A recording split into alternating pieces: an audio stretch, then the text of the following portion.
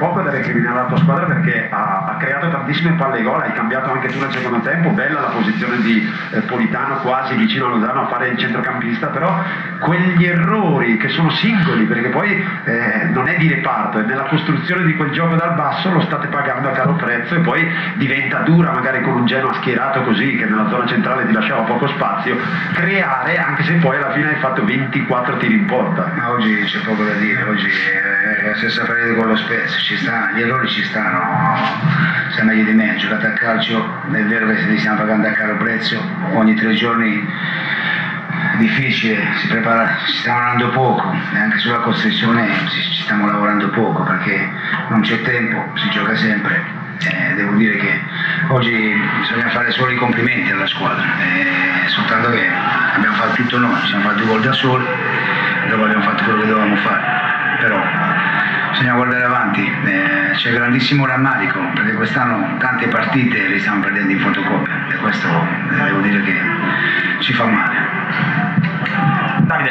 Sì, io rimanendo su questo argomento, mister, le chiederei se, siccome ha parlato già in passato di continuità mentale che a volte è mancata alla squadra, se questi errori nascono magari appunto dal calendario, dalla fatica, dal non allenarsi o se è anche un discorso proprio mentale, ad esempio il primo gol? No, è una questione anche di postura, perché se vai vedere il primo gol, una punizione potevamo giocare avanti, abbiamo giocato all'indietro, Maximovic, la postura di Maximovic si è aperto poco, eh, voleva giocare sul portiere, ci ha ripensato, aveva fatto un giro palla con Manolassi e l'ha ridata e abbiamo sbagliato un appoggio, ma ci può stare, eh, soltanto che ci sta andando, sta girando male e dopo ci sta, la difficoltà non ce ne stiamo avendo solo noi, questo per come, per come stiamo giocando, ripeto, giocare in un certo, in un certo modo bisogna lavorarci, sicuramente c'è un'attenuante, quella che stiamo solo recuperando e giocando, dopo è vero che queste problematiche non le abbiamo solo noi, c'erano tre squadre, però noi stiamo pagando a caro prezzo. Certo, nel, nel, primo tempo soprattutto avete fatto fatica a sfondare centralmente, no? Siete tanti tiri da fuori, poche volte siete entrati in area, cosa vi è, cosa vi è mancato da quel punto di vista? Eh, mi sono vista un'altra partita della tua, se tu dici siamo entrati pochi in aria, perché siamo entrati 4-5 volte, un paio di volte con, con Petagna, abbiamo tirato da fuori, siamo, siamo, arrivati dentro e abbiamo fatto quello che dovevamo fare. Non, non posso rimproverare nulla alla squadra, la squadra ha fatto quello che doveva fare, ripeto, e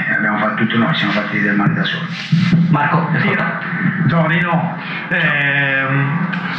tante volte abbiamo visto questo Napoli, no? tante occasioni create, pochi gol, è anche vero che però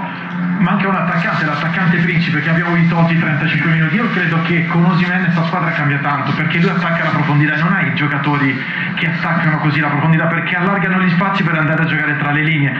quindi eh, bisogna recuperarlo il più in fretta possibile, lo sai che è un giocatore importante. Sì, noi stiamo facendo di tutto per recuperare, il ragazzo è stato tre mesi fermo, noi abbiamo la bacchetta magica,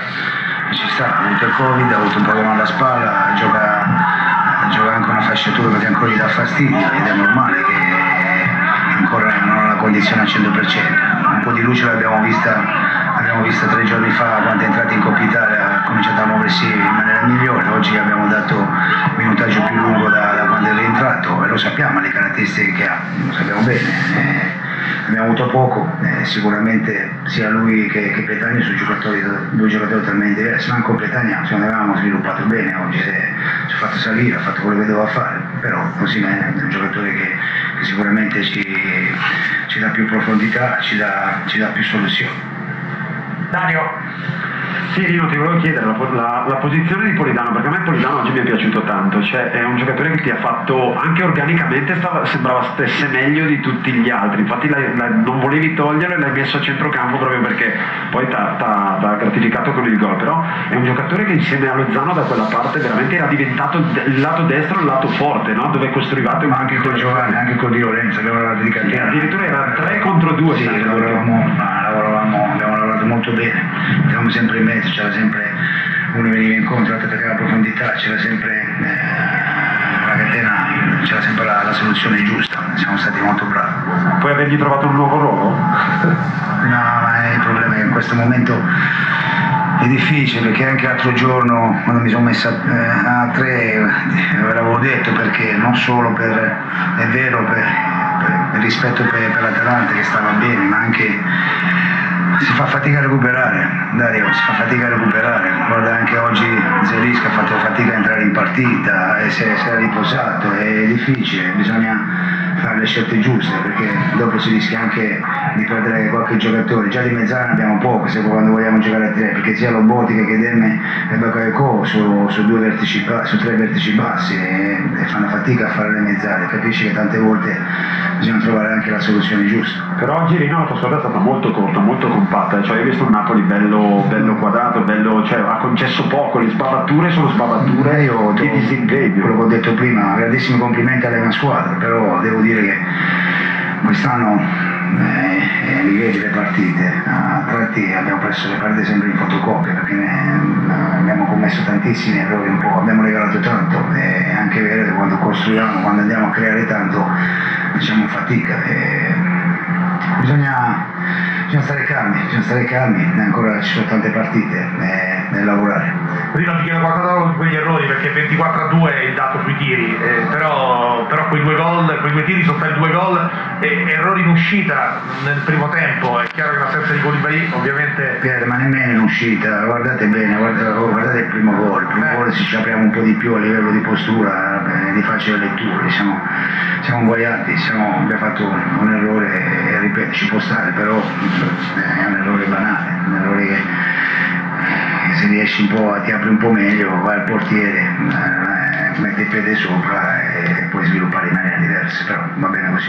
Cos'è che la preoccupa di più Gattuso in questo momento, in una settimana che comunque già mh, rappresenta almeno uno snodo in settimana con l'Atalanta, poi ci sarà la Juve, insomma sarà una settimana veramente veramente calda e carica. Mi preoccupa che i numeri non mentono, che non è la prima partita che offriamo tanto e, e- e perdiamo e perdiamo e concediamo poco, Eh, non è la prima, è, è questo che mi preoccupa. Che l'allenatore, eh, oggi chi fa l'allenatore non deve andare a casa preoccupato, c'è il male che ti deve bruciare, però vai avanti, però eh, da tanto tempo che, che sa che succede questo aspetto qua. Grazie. grazie. Grazie a voi. Grazie Buon. Gennaro.